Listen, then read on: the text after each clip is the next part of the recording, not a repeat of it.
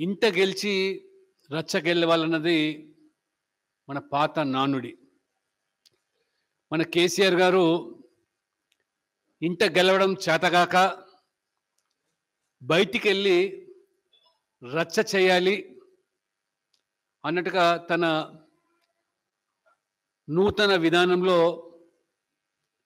వారు కొనసాగిస్తున్నట్టుగా నిన్న బీహార్ పర్యటన దానికి అతికినట్టుగానే కనబడుతుంది. ఒకవైపు తెలంగాణలో సమస్యలు చుట్టుముట్టుతూ ఉంటే కుటుంబ నియంత్రణ ఆపరేషన్లు వికసించి నలుగురు మహిళలు మృతి చెంది అనేక మంది వారు ఆసుపత్రుల్లో సీరియస్గా పరిగణింపబడుతూ ఉంటే మరోవైపు భారీ వర్షాలకు రైతులు తీవ్రంగా నష్టపోయి దిక్కుతోచని పరిస్థితిలో రైతులు ఉంటా ఉంటే కేసీఆర్ కలల ప్రాజెక్టుగా చెప్పుకునే ఈ లక్ష కోట్ల కాళేశ్వరం ప్రాజెక్టు వరదల్లో పూర్తిగా మునిగిపోయి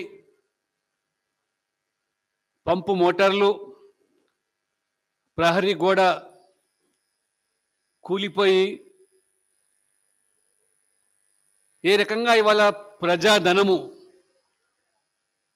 దుర్వినియోగపడ్డదో ఇవాళ దేశ ప్రజలందరూ కూడా విస్తుపోతూ ఉన్నారు. మళ్ళీ కొత్తగా కేసీఆర్ గారు బీజేపీని నేరుగా ఎదుర్కోలేము. రోజు రోజుకు దేశవ్యాప్తంగానే కాకుండా తెలంగాణలో సైతం కూడా భారతీయ జనతా పార్టీ బలపడుతూ ఉన్నది.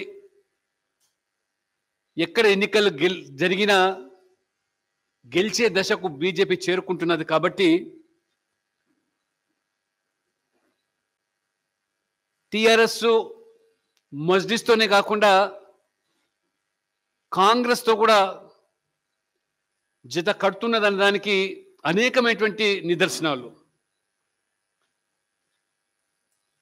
నిన్నటి పర్యటన చాలా స్పష్టంగా కాంగ్రెస్ పార్టీకి చేరువవుతున్నట్టుగా నిన్న కేసీఆర్ గారు చేసిన వ్యాఖ్యలు भारतीय जनता पार्टी के जो भी विरोधी दल है उन सभी दलों को उनसे बातचीत करेंगे वार्तालाप करेंगे एकजुट होंगे और భారతీయ జనతా పార్టీకు హరాయింగే ఒకవైపు విలేకరు చాలా స్పష్టంగా ఎవరు మీ నాయకుడు రాహుల్ గాంధీయా నితీష్ కుమారా మమతా బెనర్జీయా కేజ్రీవాల్ అడుగుతూ ఉంటే ఎక్కడ కూడా రాహుల్ గాంధీ కాదు కాంగ్రెస్ కాదు అని చెప్పలేదు మేము కూర్చొని చర్చించుకుంటాం ఆలోచన చేస్తాం నిర్ణయం తీసుకుంటామని చెప్తున్నారంటే దేనికి సంకేతం ఇది?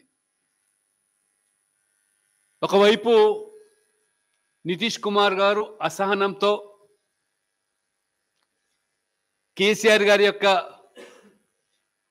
వ్యాఖ్యల పట్ల చిరాకు చెంది పదిసార్లు బతిమిలాడిన ప్లీజ్ బయటి ప్లీజ్ బయటి అంటున్నా దాన్ని ఖాతరు చేయకుండా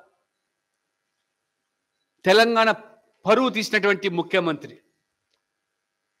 ఈయన నైజమేంటో అక్కడ నితీష్ కుమార్ తేజస్వి యాదవే కాదు అక్కడ ఉన్నటువంటి బీహార్ యొక్క విలేకరులకు స్పష్టమైపోయింది.